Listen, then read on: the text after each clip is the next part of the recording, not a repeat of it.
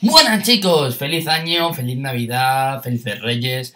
Eh, después de toda esta espera, vamos a empezar ya con las hot news de este año, la primera. A ver, ¿qué, qué nos depara? ¿Qué nos depara este nuevo año?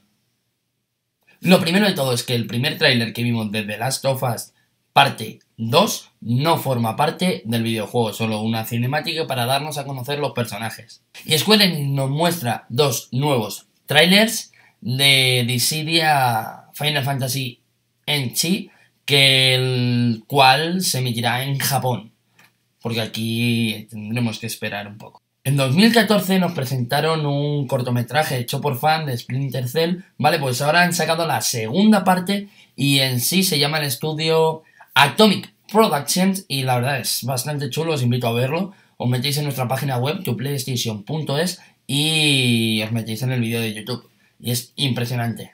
Se nos ha mostrado también un nuevo gameplay de Nino Kuni 2 que sale el próximo 23 de marzo.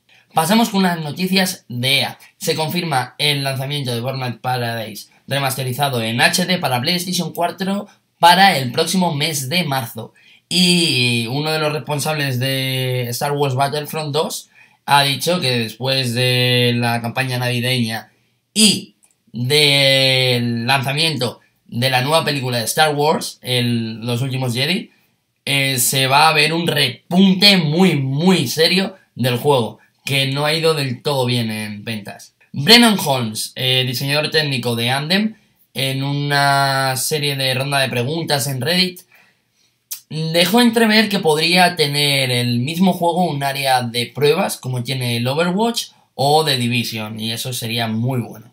Capcom nos da un nuevo tráiler y unas nuevas fechas para la beta abierta de Monster Hunter World. Estas fechas son del 19 al 22 de enero, estados atentos y a jugar.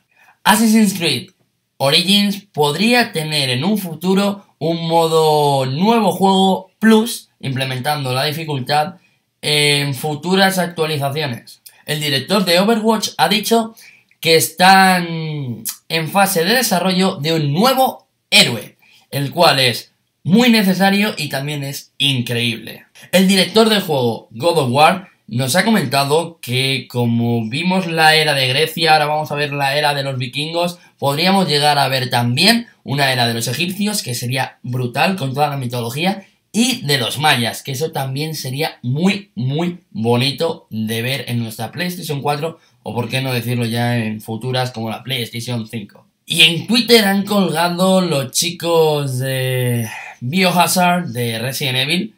Eh, algo muy desconcertante porque ves una foto, otra foto, otra foto, pero justo a la izquierda, bueno, vosotros lo tendréis por aquí, donde está la imagen de, de usuario, arriba no hay nada, no hay nada. ¿Por qué? Pues porque se presupone que nos están a punto de bombardear con un nuevo proyecto de Resident Evil.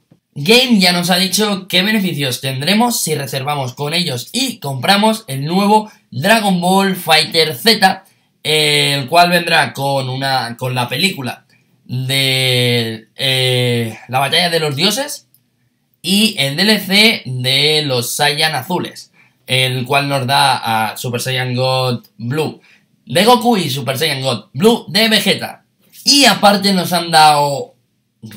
Y aparte nos han dado nuevos gameplays en forma de vídeos de este juegazo, que si podéis meteros en nuestra página web tuplaystation.es y lo veis en nuestras noticias porque la verdad el juego está siendo impresionante. Tenemos un hype de la hostia. Y nada chicos, hasta aquí las noticias de este mes. Si queréis más, ya sabéis, nos lo ponéis por comentarios, dejáis un buen like y si os queréis suscribir y enteraros de casi todas las noticias, que no puedo decir todas, es verdad, pero vamos, casi todas las importantes las decimos. Un abrazo muy grande y nada, estáos atentos.